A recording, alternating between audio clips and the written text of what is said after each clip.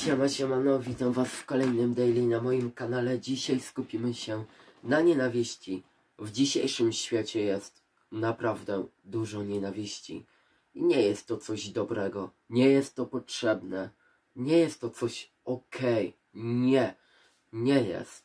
Nienawiść jest zła, niepotrzebna, jest czymś totalnie jak takim obrzydlistwem. Dla mnie jest to obrzydliwa cecha, no nie? Nienawidzić kogoś. Nie możesz mieć do człowieka nienawiści i chcę wam powiedzieć, e, że to daily to jest daily, które mówi, wiecie, o miłości, o tej prawdziwej wartości. I chcę wam powiedzieć, że jest napisane, nie kochaj tylko tych, którzy ciebie kochają, ale kochaj również tych, którzy ciebie nienawidzą. Tych, którzy ciebie prześladują, hejtują, obrażają. Kochaj ich, bo wtedy będziesz miał tylko, tylko wtedy będziesz miał nagrodę najpiękniejszą. I chcę wam powiedzieć, że że miłość jest lepsza od nienawiści. I kochani, jak ktoś coś nam zrobi złego, to uczmy się, próbujmy,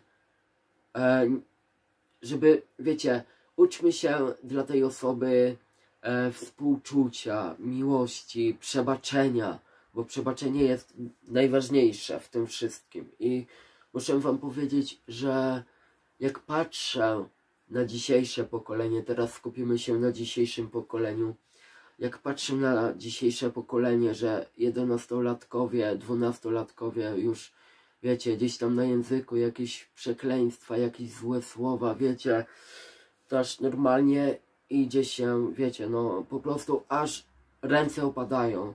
Normalnie aż ręce opadają. Ja się pytam, gdzie są rodzice? Jak rodzice uczą te dzieci?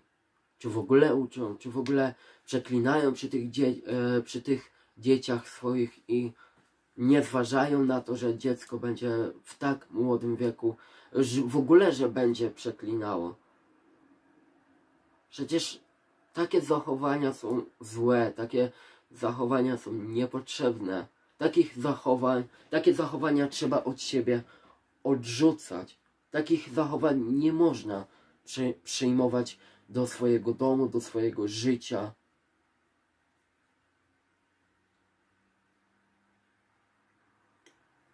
A więc chcę Wam dzisiaj przekazać więcej miłości, więcej dobra, więcej szacunku, więcej przebaczenia i co najważniejsze, więcej Boga.